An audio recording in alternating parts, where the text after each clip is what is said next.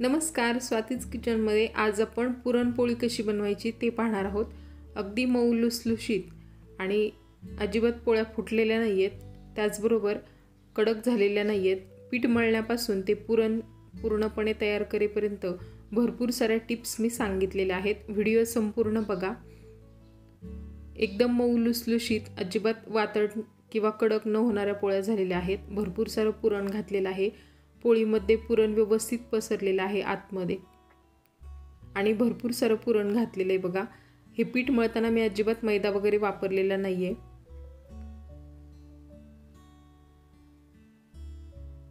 तर मऊ लुसलुशीत अशा ह्या पोळ्या कशा बनवायच्या ते आपण आज पाहूयात. व्हिडिओ सुरू करण्याआधी तुम्ही जर का चॅनलवर नवीन असाल किंवा पहिल्यांदाच माझा चॅनल बघत असाल तर चॅनलला सबस्क्राईब करा. पुढे दिलेलं बेल आयकॉनही प्रेस करा. चला तर मग आपण ह्या मऊ लुसलुशीत आणि गुबगुबीत पुरणपोळ्या कशा बनवायच्या ते पाहूयात. या ठिकाणी अर्धा किलो डाळ घेतलेली आहे. डाळ मी पाच मिनटं पाण्यामध्ये बुडवून ठेवली होती. पाच मिनटानंतर डाळ स्वच्छ धुवून घ्यायची आहे. जास्त वेळ डाळ भिजवलेली नाही आहे फक्त पाच मिनटं पाण्यामध्ये ठेवली होती. आता हे सगळं पाणी काढून टाकायचे आणि आणखीन एका पाण्याने डाळ स्वच्छ धुवून घ्यायची आहे. डाळ पाच मिनटं पाण्यामध्ये बुडवली की वरची सगळी जी मळी आहे ती निघून जाते. डाळ एकदम स्वच्छ होते ह्याने पुरणाला रंग छान येतो आणि डाळ शिजताना ओतू जात नाही. त्यामुळे डाळ पाच मिनटं भिजवून स्वच्छ धुवून घ्यायची दोन पाण्याने आणि नंतर शिजवायची आहे. जेवढी आपण डाळ घेतलेली आहे त्याच्या तीन पट किंवा साडेतीन पट पाणी घालायचे.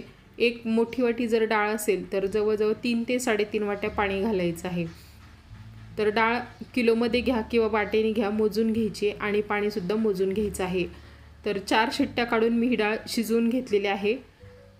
पहिली शिट्टी झाल्यानंतर गॅस थोडासा मीडियम ठेवायचा आहे आणि मीडियम गॅसवरती राहिलेल्या तीन शिट्ट्या काढायच्या. म्हणजे मग जास्त वेळही जात नाही आणि डाळ छान मऊसूत पूर्णपणे शिजली जाते. तर डाळ ही पूर्णपणे छान मऊसूत शिजलेली आहे. पण जर तुम्हाला वाटलं की डाळ थोडीफार कमी राहिली आहे शिजायची तर आणखी एखादी शिट्टी पुन्हा काढून घ्या.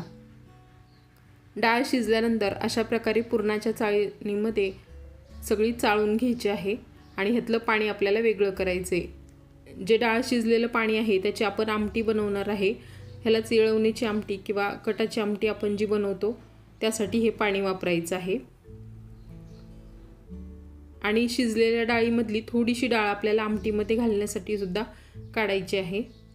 नंतर आपण ह्या राहिलेल्या डाळीचं पुरण बनवणार आहे. तर डाळीमधलं पूर्णपणे पाणी निथळल्यानंतरच डाळ आपल्याला परतवून घ्यायची आहे. ह्यात जास्त पाणी ठेवायचं नाही. म्हणजे मग परतवायला जास्त वेळ जात नाही आणि पुरणही पातळ होत नाही. तर डाळीमधलं पूर्ण पाणी निघल्यानंतर डाळ परतवायला घेतलेली आहे. ह्यात आपल्याला गूळ घालायचा आहे गूळ थोडासा डार्क रंगाचा असेल तर पोळ्यांना रंग किंवा पुरणाला रंग खूप छान येतो. त्यामुळे थोडासा असा काळपट गूळ असेल तर तो वापरा. गूळ बारीक किसून घ्यायचा आहे किंवा मग बारीक कुटून घ्या. आणि नंतर डाळीमध्ये घालायचं आहे बारीक केलेला गूळ डाळीमध्ये लवकर विरघळतो. डाळ आणि गूळ परतवत असताना चमच्याने थोडंसं असं मॅश करून घ्यायचं आहे म्हणजे मग डाळ सगळी गुळामध्ये छान मिक्स होते आणि सॉफ्ट होते. पुरण वाटायलाही नंतर सोपं जातं. डाळ चांगली परतवत आल्यानंतरच हे पु ह्यात आपल्याला सुंठ वेलची जायफळ आणि बडीशेपची पावडर घालायची आहे. तर ते थोडंसं भाजून घेतलेलं आहे आणि नंतर बारीक कुटून घेतलेलं आहे. पुरण चांगलं परतवून झाल्यानंतर ह्यात असा चमचा उभा करून बघायचा आहे. जर चमचा व्यवस्थित उभा राहत असेल तर पुरण चांगलं परतलेलं आहे असं समजावं. ह्यात आणखी थोडंसं ओलसर पण आहे. अजून दोन मिनटं मी हे पुरण परतवून घेतले त्यानंतर ह्यात आपण बडीशेप सुंठ वेलची आणि जायफळची पावडर ॲड केलेली आहे. हे वाटताना मी थोडीशी साखर घातली. साखर घालून वाटलं की चांगलं बारीक होतं. सुरुवातीलाच जर हे घातलं तर पुरणामध्ये पुरण परतवत असताना ह्याचा वास निघून जातो. त्यामुळे आपल्याला हे शेवटी घालायचं आहे. बडीशेप सुंठ आणि वेलची एकत्र वाटल्यानंतर हे दोन चमचे पावडर आपल्याला घालायचे आहे. दोन ते अडीच चमचे. पुरण गरम असतानाच लगेच आपल्याला वाटायला घ्यायचं आहे. पुरण वाटण्यासाठी तुम्ही अशा प्रकारे पुरणाची चाळणी किंवा मग पुरण यंत्रामध्ये पुरण वाटून घ्या. पुरण थोडंसं वाटून झाल्यानंतर लगेच चेक करून बघायचे जर खूप ओलसर वाटत असेल तर अजून हे चांगलं परतवून घ्यायचं आणि नंतरच वाटायला घ्यायचं. खूप ओलसर जर पुरण असेल तरी देखील पोळ्या फुटतात. त्यामुळे ह्यात अजिबात ओलसरपणा नसावा. पुरण चांगलं सगळं आपल्याला बारीक वाटून घ्यायचं आहे. तर इथे मी पीठ मळून घेणार आहे.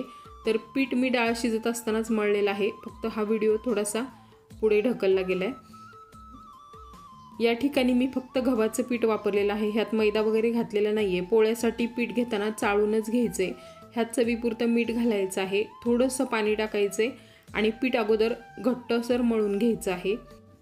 अर्धा किलो पुरणासाठी अर्धा किलोच पीठ अंदाजे आपल्याला मळायचं आहे. पीठ मळताना सुरुवातीला घट्ट मळून घ्यायचं आणि नंतर थोडं थोडं पाणी टाकून हे चांगलं मळून घ्यायचं आहे पीठ जेवढं आपण जास्त मळून घेतो तेवढं ते चांगलं सॉफ्ट होतं आणि ह्यात छान लवचिकपणा येतो. ह्याने पोळ्या अजिबात फुटत नाही. त्यामुळे जास्त वेळ पीठ मळून घ्यायचे. पीठ चांगलं मळून झाल्यानंतर वरून तेल घालायचे शेवटी आणि पुन्हा तेल घालूनसुद्धा थोडा वेळ हे मळून घ्यायचं आहे. सुरुवातीला फक्त थोडं थोडं पाणी घालून पीठ चांगलं मळून घ्यायचं आणि शेवटी तेल लावायचं आहे. तेल लावून चांगलं मळल्यानंतर हे पीठ आपल्याला भिजण्यासाठी ठेवायचं आहे पोळ्या करण्याच्या साधारणतः अर्धा तास आधी तरी पीठ बज भिजवून घ्यायचं किंवा मळून घ्यायचं आणि नंतर पोळ्या बनवायच्या आहेत. खूप पातळ पीठ सुरुवातीलाच करायचं नाही आहे पीठ भिजल्यानंतर थोडंसं सैल होतं. त्यामुळे मळताना थोडंसं हे घट्ट ठेवायचं आहे. त्याचबरोबर पुरण तयार झाल्यानंतर पोळ्या करण्याआधी पिठाची आणि पुरणाची कन्सिस्टन्सी चेक करायची आहे. दोन्हीपैकी कोणताही एक पदार्थ पातळ नसावा दोन्हीही दोन्हीही सेम असावं.